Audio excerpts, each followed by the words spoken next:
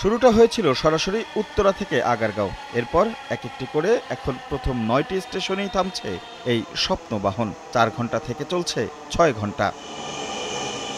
এরই ধারাবাহিকতায় ঘোষণা এসেছে, আরও বাড়ছে মেট্রো যাত্রার সময়। এতদিন এই পথে প্রয়োজনে চলা মানুষগুলো ফিরতি পথে সেই সড়ক ধরেই চলতে হতো। এবার রাতের আধারেও ভায়ার একটে আলো ছড়াবে মেট্রো, তাই উচ্ছ্বসিত যাত্রীরা।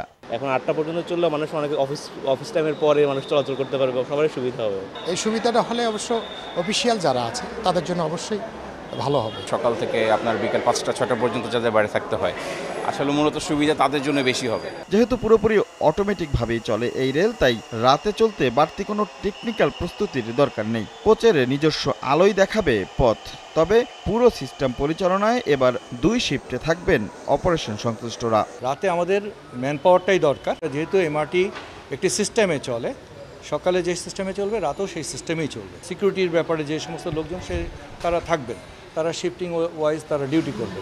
বিশেষজ্ঞরা বলছেন এর মাধ্যমে ধীরে হলেও মেট্রোর সুফল ঘরে তুলতে থাকবে নগরবাসী যার প্রভাব মিরপুর উত্তরা থেকে পুরো সড়ক নেটওয়ার্কে পড়বে বলেই মত তাদের। কানেক্টিভিটিটা কিন্তু আমাদের এস্টাবলিশ হয়ে গিয়েছে এবং ইম্পর্টেন্ট যে ব্যাপারটা সেটা হচ্ছে যে আসলে যে রুটটাতে আমরা এখন যাতায়াত করছি মেট্রোটা সেখানে কিন্তু যানজট কমবে। এতদিন মঙ্গলবার সাপ্তাহিক বন্ধ থাকলেও নতুন সূচিতে শুক্রবার বন্ধ থাকবে মেট্রো রেল।